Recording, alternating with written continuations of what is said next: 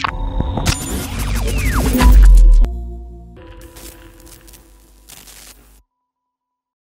Kuna historia za matajiri ukisimuliwa imekuwaje hadi umefanikiwa. Unaweza ukabaki ukishangaa, kwa maana watu wanapitia shida nyingi sana mpaka kuyafikia mafanikio. Nakumbuka pia niko chuo, mimi tumeishi maisha magumu sana, ambao kwa vijana sivyo wengi hawayawezi. Nilikuwa jamaa wangu mmoja anaitwa Bosi Ngasa, kwa akija kwangu pale nyumbani, ambaye ni mkurugenzi wa Ngasa TV. Akija kwangu pale anakutana nakula dagaa kila siku, ananiambia da, jamaa wangu anakula dagaa sana mpaka sitota tumboni, sasa kutembea tumboni. Anambia mzee, ndio maisha. Maona nakumbuka mboga yangu kubwa ilikuwa mimi dagaa na mboga za majani. Tumekuwa mboga za majani sana mpaka tukafikia sasa kuota tumboni. Sio hivyo tu, lakini pia katika utafutaji kuna matukio ya kutisha sana watu wanakutana nayo, matukio ambayo kama una roho ndogo unaweza ukaacha kazi. Shani mwangu nakumbuka siku ilikuwa ni majira ya saa 12 asubuhi, napeleka mteja stendi nilikutana na lori. Lori alikuwa na mwendo kasi kama vile limepaki, lakini mimi nikataka kukimbia kimbia, nikajigonga, tukajikuta tumeingia, niko vunguni mwa lori. Maana lori ilikuwa limesimama, alikuwa alikimbia sana. Yaani wote mimi na abiria yangu tuko vungini mwa lori. Nilitoka kaka jasho ambayo sasa isahau katika maisha yangu. Mwili mzima nikuta umeroa jasho, mpaka Mkasa wa leo tunasimuliwa na mkurugenzi wa Mafuru Investment Bwana Julius Mafuru, ambayo hiyo ni kampuni inayojihusisha na masuala ya ununuzi na uuzaji pamoja na kukodisha magari, lakini pia kampuni hiyo inajihusisha na masuala ya ujenzi. Kwa jina maarufu wanamwita Tajiri Mafuru, ambaye leo ametusimulia mikasa yake ambayo kwa namna moja au nyingine itakuacha hoi ukicheka kwa namna Tajiri Mafuru anavyosimulia. Hakika mpaka mtu anafanikiwa, basi nyuma ya pazia kuna mengi sana, na siku hii ya leo na imani kupitia mikasa ya bwana Julius Mafuru maarufu kama Tajiri Mafuru itaweza kukufunza jambo na pengine kukuonyesha mwanga wa maisha. Karibu kusikiliza mikasa hii, lakini kabla ya kufuatilia mikasa hii, naomba nikutaarifu ya kuwa Royal Oven ni sehemu tulivu na ya kipekee itakayokufanya wewe kufurahia muda wako unapokuwa sehemu hiyo. Wana mazingira rafiki kwa mteja kufurahia zaidi awapo mahali yapo. Ukifika Royal Oven utajipatia mikate safi iliyookwa kiufundi zaidi, vitafunwa tofauti tofauti, juisi za aina zote, keki kwa ajili ya shughuli tofauti tofauti, vyakula vya aina mbalimbali pamoja na huduma nyingine nyingi. Royal Oven, the bakery masters. Karibu kusikiliza mikasa hii. Mimi naitwa Rami Ramsey Mshua, Instagram natumia kama Mshua Rami.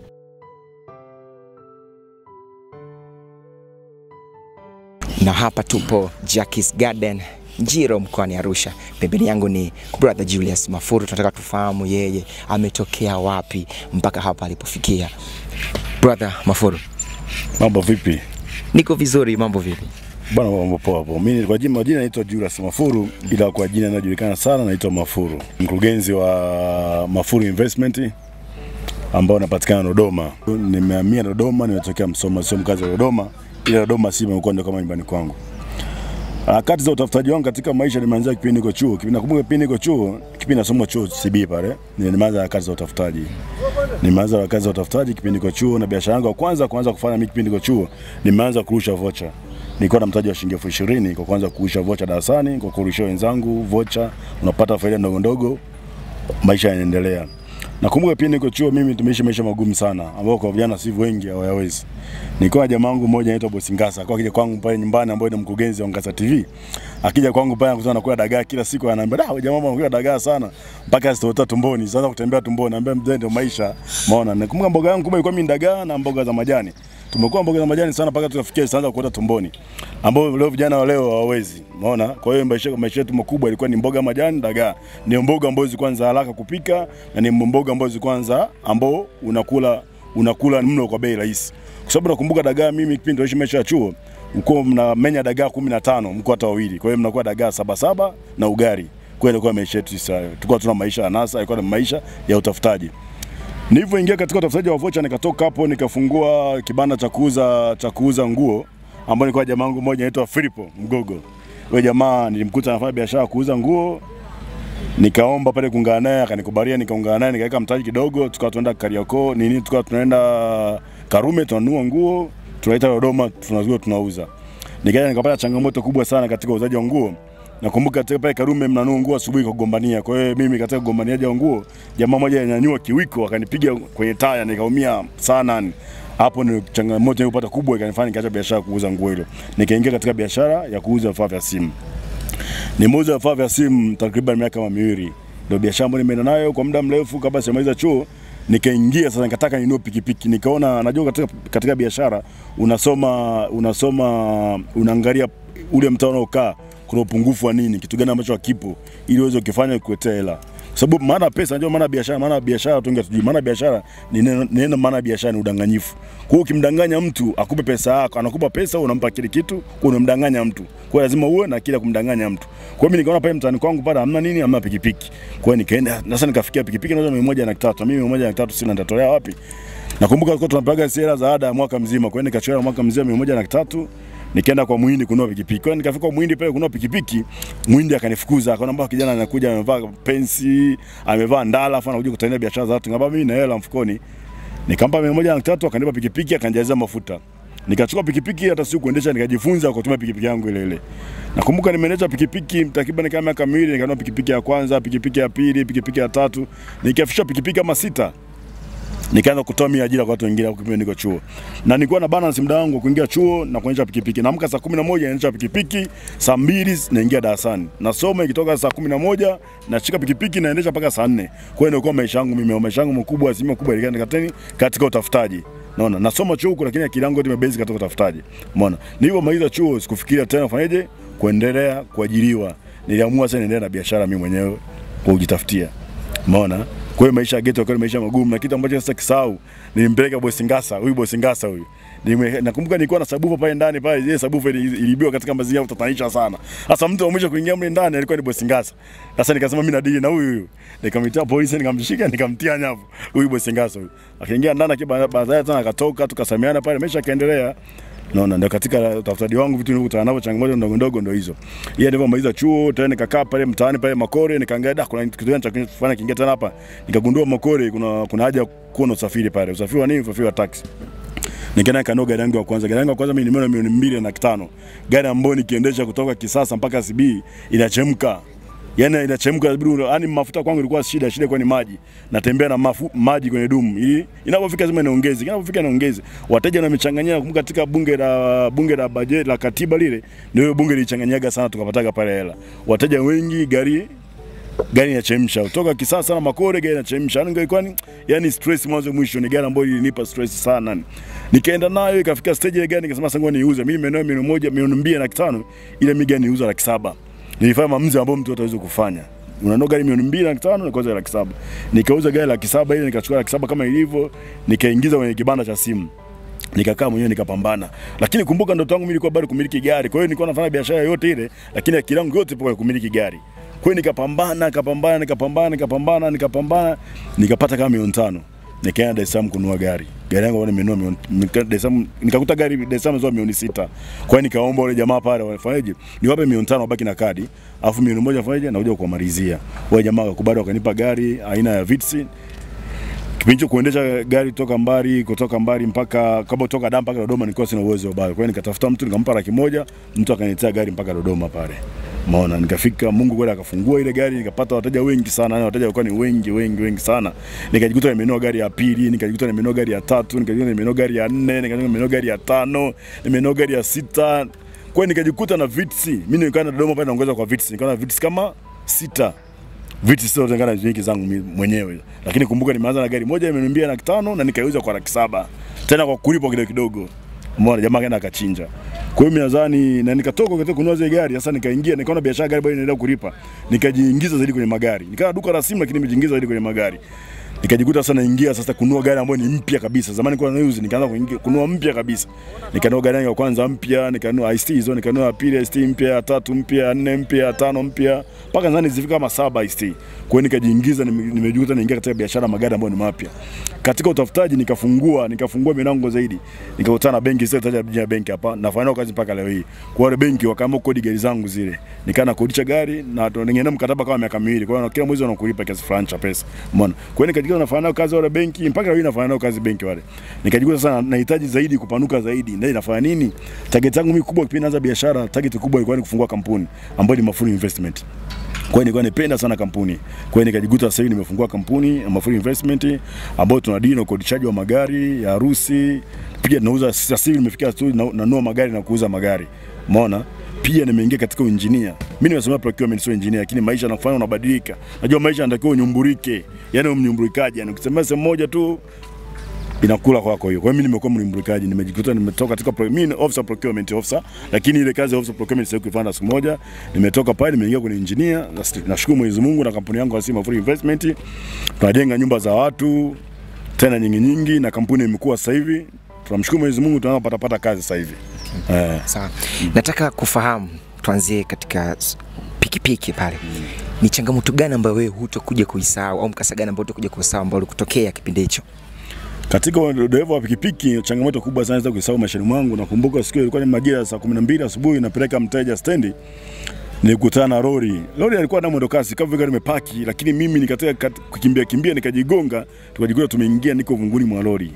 Maana lori ilikuwa limesimama, alikuwa alikuwa alikimbia sana. Yaani wote mimi na abiria yangu tuko vungini mwa lori. Nilitoka kaka jasho ambayo sasa isahau katika maisha yangu. Mwili mzima nilikuta meroa jasho, yani mpaka nguo ni asubuhi na Dodoma kuna baridi, lakini mwili mzima umeloa jasho. Na hiyo ni changamoto ambayo sasa katika maisha yangu. Mkasa mwingine ambao tukuja kusahau tofauti na huo? Mkasa mwingine ambao sio kusahau, kipindi nimeanza biashara kuuza vifaa vya simu, nilikuwa na kibanda cha simu cha mbao. Kile kibanda kiliungua chote, kiliungua ni chote, kilipona ni Bible tu nilipona, mpaka leo Bible mimi nayo. Bible ikungua, lakini kompyuta ziliungua, vifaa vya simu viliungua, vocha ziliungua, ila ile Bible ilipona mpaka leo ipo. Okay. Mm. Shida ilikuwa nini? Chanzo mpaka kibanda kinaungua ilikuwa kwaje? Nadhani itakuwa ni umeme, kwa sababu pale ambapo sehemu kwa tumeweka ile sehemu ilikuwa ni sehemu ambayo sehemu wanachoma chipsi, wanachoma. Nadhani ilikuwa ni changamoto ya umeme, kwa sababu ilikuwa ni majira ya asubuhi na bado ki- kilikuwa kijafunguliwa bado. Okay. Mm. Sawa. Ulichukua hatua gani baada ya hapo? Baada hapo, unajua unapokuwa unafanya biashara, biashara maana biashara vijana wengi hawajui. Unapofanya biashara, yani tunashumu kama umepewa leo gari na mwaka mmoja kwenye gari, akisha ile gari baada ya miaka miwili anaza gari nyenzake. Kwa hiyo mimi nafanya biashara bana cha simu, nilikuwa na save pesa katika utafutaji. Utafutaji kubwa zaidi ni kusave yaani tajiri ili umjenge tajiri tajiri hai- hai- haijalishi una, una, una, unauza mauzo kuna tajiri ambao kwa siku anauza mauzo milioni mia lakini anasave laki moja lakini kwa maskini ambao anauza mauzo ya laki tano kwa siku ana save laki tatu. Kwa hiyo nani tajiri? Tajiri yule ambao anasave hela nyingi huko yule ambaye anasave sana. Kwa hiyo kikubwa zaidi ni kusave. Kwa hiyo kiasi kikubwa mimi na save kile ndio kilinisaidia wiki kuisha nikatengeneza mabanda upya nikafungua upya duka likaanza save kama kawaida kwa sababu nilikuwa na save pesa. Sawa. Vijana bwana tunakuwa na changamoto nyingi nyingi. Ah, nimetaka niguse kidogo kwenye mahusiano. Unajua bwana kila mtu anakuwa na shida shida ndogo ndogo kwenye mahusiano. Kufahamu kwa, kwa bwana Julius Mafuru. Yeye hajawahi kutana na mkasa wote kwenye mahusiano labda ambao ulipelekea kitu fulani.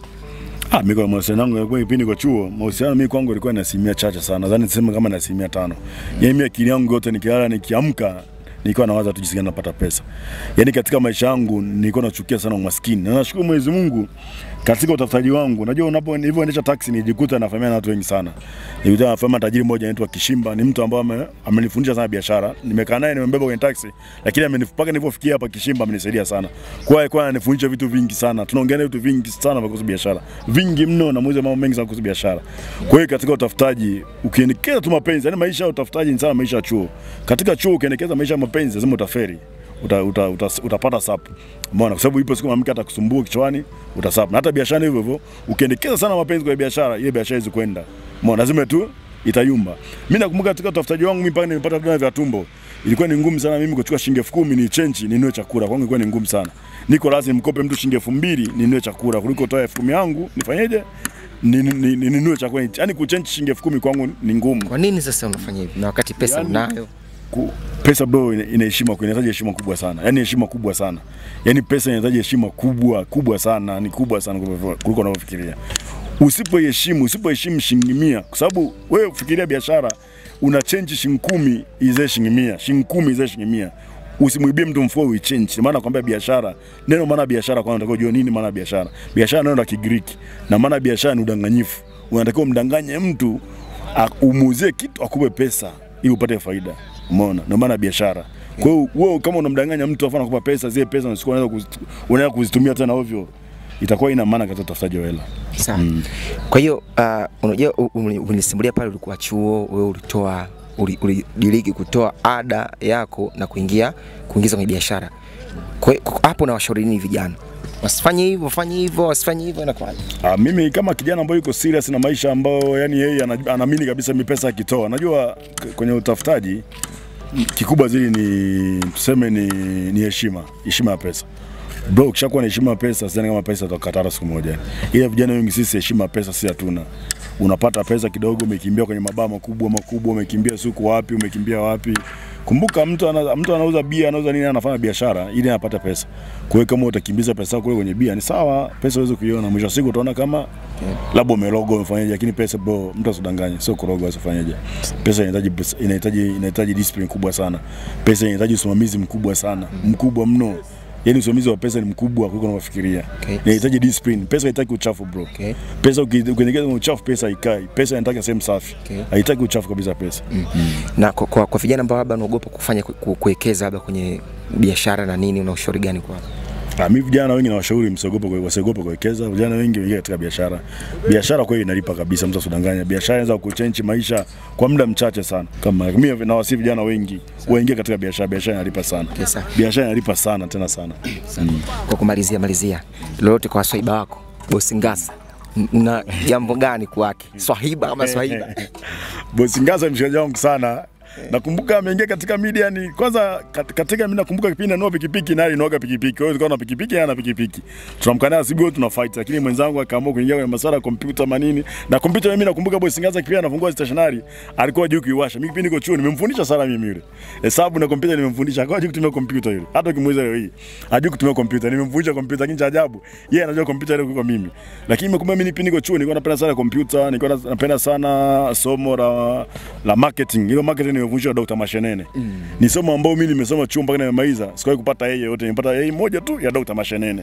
Somo la marketing. Ni kwa sababu nilikuwa nalipenda. Nilikuwa nalipenda sana. Kwa hiyo Ngasa mimi nimemvunja sana kompyuta Ngasa. Lakini katika katika katika tumeanza na harakati za utafutaji kwenye pikipiki, lakini akaamua kuachana na pikipiki kuingia kwenye media. Wewe kwenye media, mimi nipo kwenye mambo mengine ya ukodishaji wa magari na ujenzi, tuendelee na maisha pambana. Mm. bwana. Asante sana kwa muda wako bro. Ama no bro, shukrani. Na imani utakuwa umejifunza baadhi ya vitu kutokana na mikasa iliyomkuta bwana Julius Mafuru. Kitu ambacho nimejifunza mimi ni kwamba kama vijana inabidi tusiogope kuwekeza, kwa sababu tunapowekeza tutapata zaidi mbele ya safari. Lakini pia kitu kingine ambacho nimejifunza kutoka kwa bwana Julius Mafuru ni kwamba uvumilivu unahitajika ili kuyafikia mafanikio, kama tulivyomsikia kwamba yeye chuo alikutana na changamoto nyingi sana, hivyo inatubidi tupambane mpaka mwisho. Kwa mikasa mingine mingi, naomba usiache kusubscribe Ngasa Online TV, lakini pia kutufuatilia kwenye kurasa zetu za Instagram ambazo tunatumia kama Ngasa TV Dodoma, lakini pia Bosi Ngasa Dodoma. Myself Instagram natumia kama mshuarami Thank you for your time.